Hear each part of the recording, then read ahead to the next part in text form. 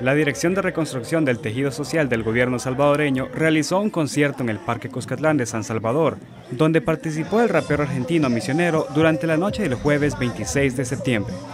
El artista argentino compartió lo que ha podido percibir durante su visita al país. Me emociona el espíritu que veo en El Salvador cuando estoy conociendo los barrios, las comunidades, las playas, la gente alrededor hay un espíritu como en el salvadoreño, como men, podemos transformar y cambiar lo que está sucediendo y la visión que tienen los otros países de nosotros. Entonces cuando me vengo a un país que tenía, tenía una imagen totalmente distorsionada o distinta según lo que veía por internet, me encuentro, realmente me impactó en el corazón y El Salvador está enfocado de cambiar desde adentro para afuera.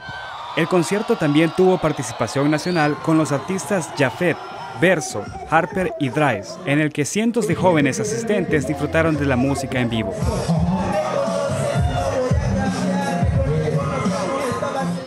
Este es un reporte de la.